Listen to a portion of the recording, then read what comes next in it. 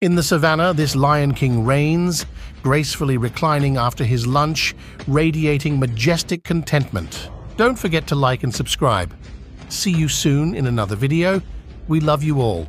Stay safe, stay happy.